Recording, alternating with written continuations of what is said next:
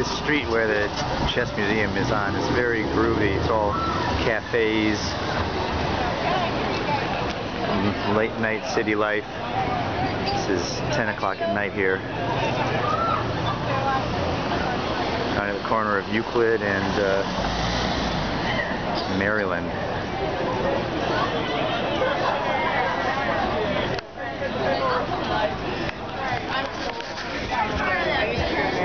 You meant to talk to the girl.